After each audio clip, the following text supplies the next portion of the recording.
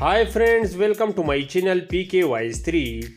IMP is a popular Japanese artist band performed CDTV Live Live New Year's Evening Special 2023 and 2024 they perform on their popular song CRUISIN. The coordination and chemistry of IMP was of high class which highly appreciated by the viewers and captured the hearts of the audience in a live performance, IMP captivated the audience with his powerful live performance.